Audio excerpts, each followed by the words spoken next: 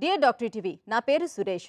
నా షుగర్ లెవెల్స్తో పాటు ట్రైగ్లిజరైడ్స్ కూడా ఎక్కువగా ఉన్నాయి. నిద్ర లేకుండా షుగర్ టెస్ట్ చేయించుకోవచ్చా తెలియజేయండి అని అడుగుతున్నారు. ఈ ప్రశ్నకు డాక్టర్ గారి సమాధానం ఇప్పుడు తెలుసుకుందాం.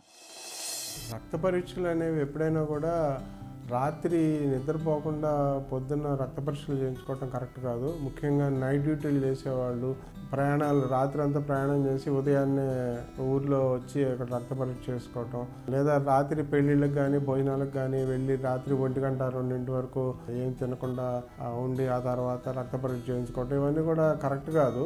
ఎవరైనా కూడా రక్త పరీక్ష చేయించుకోవడానికి ముందు మాకు ఎనిమిది గంటలైనా పడుకుని ఉండాలి అని చెప్పి రాస్తాం. ఎనిమిది గంటలు కాకపోయినా పోయిన ఆరేడు గంటలైనా వాళ్ళు నిద్రపోయి ఉండాలి. దాని ముందు ఏం ఆరేడు గంటల పాటు ఏం తీసుకొని ఉండకూడదు.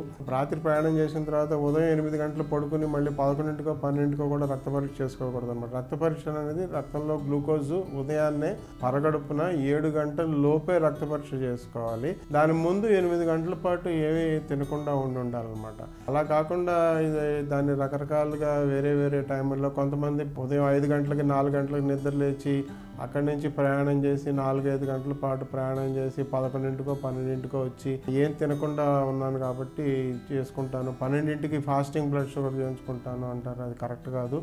అలాగే కొంతమంది ఏం చేస్తారంటే నేను ఉదయాన్నే నేను తినకుండా ఉండలేను కాబట్టి పాలు పంచదార లేకుండా కాఫీ కానీ టీ కానీ తాగి వస్తాను.